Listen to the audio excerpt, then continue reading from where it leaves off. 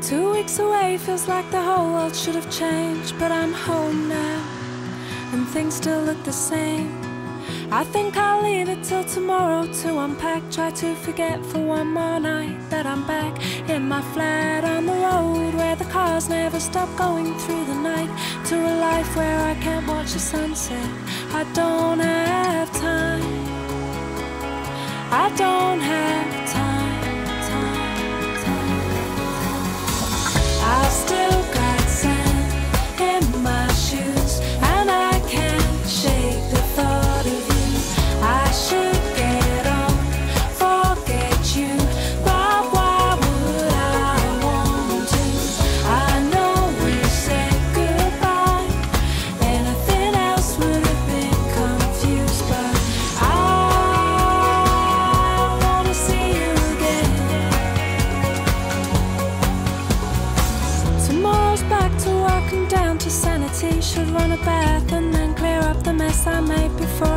Try Tried to remind myself that I was happy here before I knew that I could get on a plane and fly.